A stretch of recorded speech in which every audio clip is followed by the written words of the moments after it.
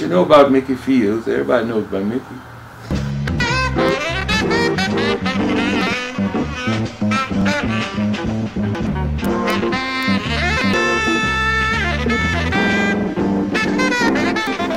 well, see, Mickey, Mickey was one of those people with talents that you can't explain.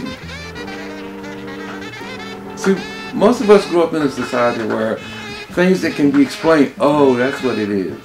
But there's so many things. The real things, actually, my belief, can't be explained. The superficial ones can. So in response to your question about Mickey, Mickey had the real stuff, I quote.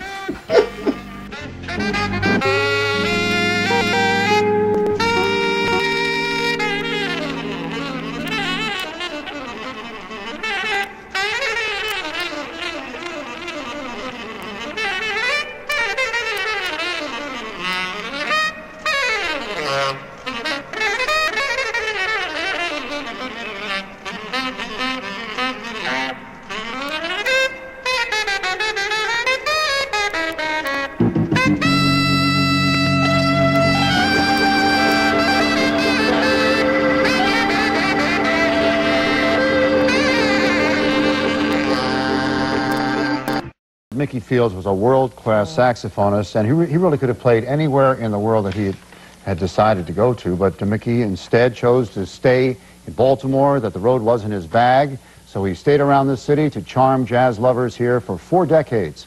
On Monday, kidney disease took Mickey from us. Today was Mickey's funeral, and did they turn out? Mickey was just a wonderful person, He had an open heart. You just, he had time for everyone. Today is one, the saddest day in my life, losing one of the best friends and musician buddies I've ever had in life. Which is exactly the way everyone inside St. Anne's Church felt about Mickey Fields, the mayor of Baltimore, a former mayor. Hundreds of people who wanted to say goodbye. It's really missed. He was uh, the best, and they all loved him. We made eye contact, and uh, I just thought he was very cute and very talented. I liked the way he played, and uh, I, I got the how I got the nerve up. I don't know. I found oh I know they had they had payphones. It was a payphone right in the club at the very front when you came in the door. It was one of the payphones, and I got got the number off of it, and I thought I'm going to call him. I'm going to call him up one day. How are you doing? Do you know who this is? No. And I said, the girl that comes and sits at the bar all the time, and when you play the songs and you get up on the bar and you walk around, I'm the one that grabs your pants leg all the time and makes you stand. He said, I know who this is. Mom did not go in that club grabbing my father's aunt leg. I did. I said, Mom was a hoe. no, I just, just to make him stand there and Sherry play. Showbar. He played in front of us. He mm-hmm. played Mom right had in front of us. Major balls, didn't she? That she knew what she wanted. She sure did. It was love at first sight. I I, told you that. that. I told you that. It was Mom love was at first crazy. That's sight. what Mom was. Call me what you you wouldn't be here. This is true. There were no normal dates. Everything had to be sneaking at that time. No normal dates. I got cursed out once in front of Sherry's.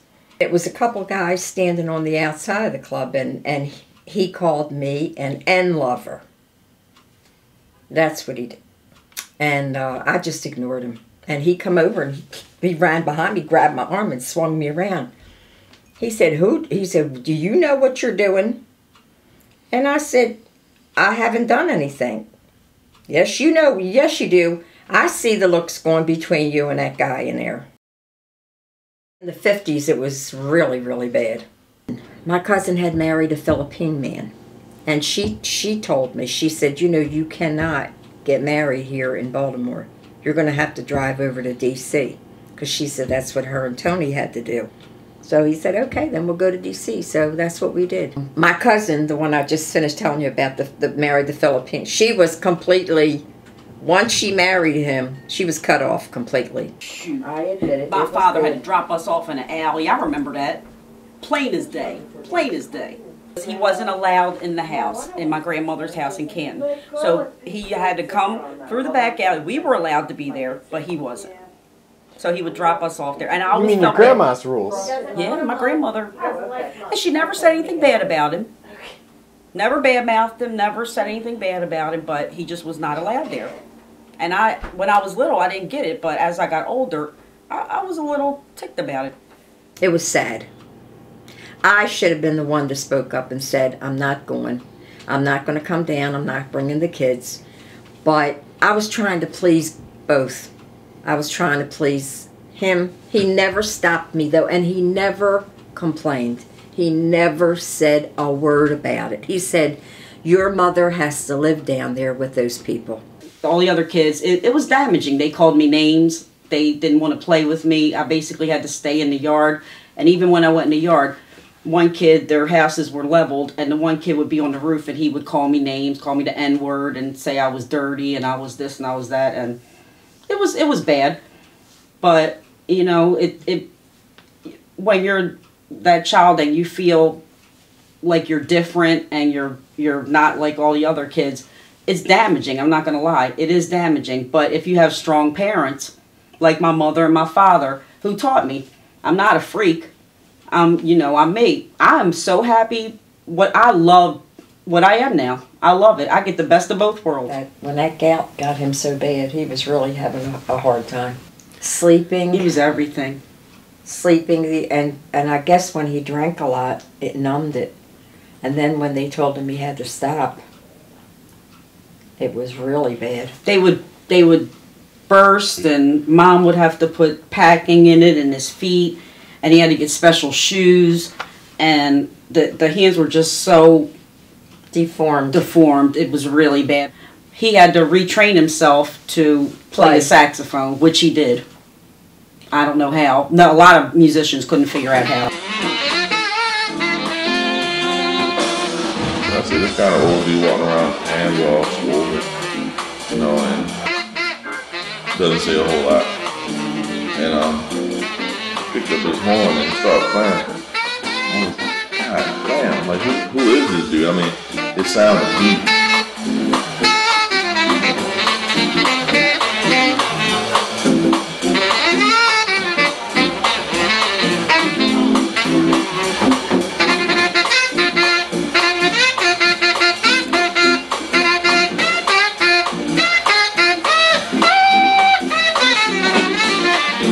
I walked in and I'm standing at the door in the back of the club and I'm listening to this out of this. And this is a guy, old school. You know, his sound would fill the room, you know, with or without a microphone. This dude was monstrous. I still say to this day, he's one of the best saxophone players I've ever seen.